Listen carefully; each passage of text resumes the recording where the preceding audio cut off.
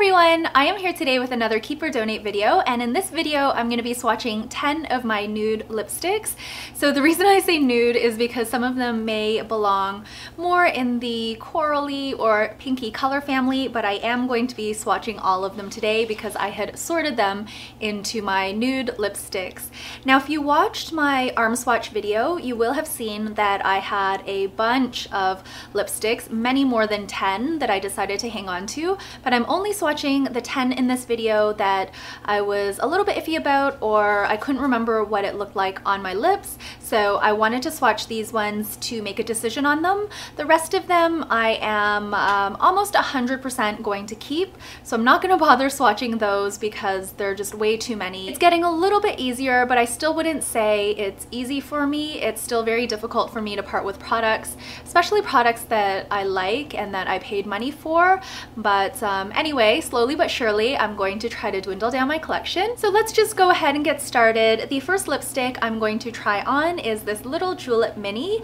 This is in Tea for Two and it's a very sheer color. So I'm going to try to see if I can build it up and um, decide whether or not I'm going to keep it. It's really pretty in the tube. So here is Tea for Two on my lips. I don't know if you can tell on this video whether there's a difference from my um, natural lip versus this. It almost reminds me just of a very mildly tinted lip balm. The next lipstick I'm to try on is by Starlooks and this is in Cream Caramel. Used to really, really love this shade. I wore it a whole bunch and um, I think you can sort of tell, although I can't remember how much product was in here. But anyway, let me put it on and see what it looks like. So here is cream caramel on my lips and I definitely remember why I love this shade so much. It's beautiful on, very nude, yet it's so creamy and so buttery soft on. Very, very moisturizing. So I am going to hang on to this one and I'm going to try to remember to use it because this used to be one of my favorite lippies and I don't know, I just put it aside because I had too many products and I'm happy that I rediscovered it and that I'm going to go back to it. The next lippy I'm going to try is by Laura Mercier and this is in the shade Baby Lips. So here is what it looks like in the tube. I almost let this one go when I was doing one of my previous decluttering videos, but I'm glad I hung on to it. The Laura Mercier lipsticks I really enjoy. They do have a little bit of a strong scent, I would say, a little bit of a sweet vanilla type scent, but I still really like it because there is no flavor, there's only a scent. So I am going to hang on to this one as well. Next up is another Laura Mercier lipstick, and this one is in Brown Sugar. I think I like brown sugar even more than baby lips. It's got more of a nude color to it, whereas baby lips has a lot of pink in it. I'm really, really happy I hung on to these. I was so close to letting them go. I did let go of the two shimmery ones, but I kept the ones that are more of a cream formulation. They are pretty sheer, but they're so comfortable on the lips, and I think the shade really flatters my skin tone. Next up is my Deborah Lippmann lipstick in Drops of Brandy. This one does have shimmer in it. It's got a bit of a gold shimmer so here is what Drops of Brandy looks like on my lips. There is a bit of a gold shimmer that gives it a little bit of a frost-like effect.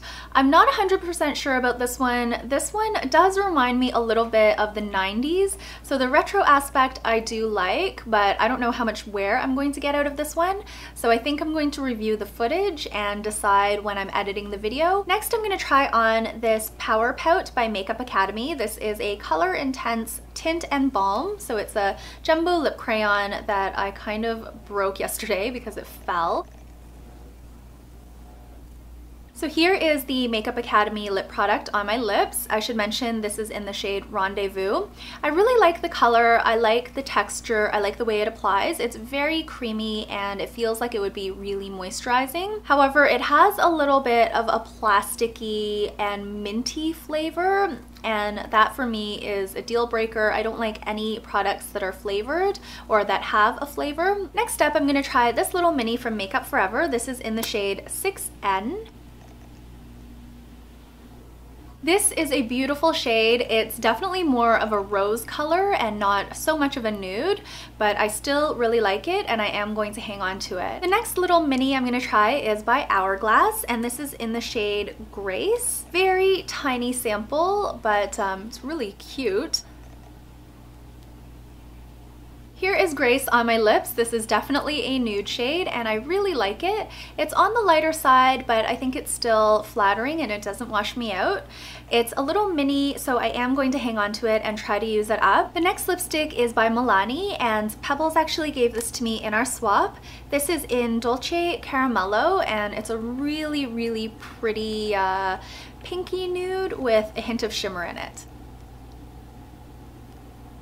Here is Dulce Caramelo on my lips. I think it's beautiful. I love bringing the shade with me when I go on vacation, especially when I go someplace warm and sunny. I just think it's really flattering and really beautiful. So I am going to hang on to this one. The last product I'm going to swatch today is by Buxom and this is one of their lipsticks in the shade Amsterdam. This is another shade that I really love. It's a beautiful nude. It's right up my alley. It's got a little bit of a peachy undertone to it, but I think it's really, really pretty and really flattering on my skin tone. So I am going to hang on to this one. That is going to be it for today. Thank you guys so much for watching this video.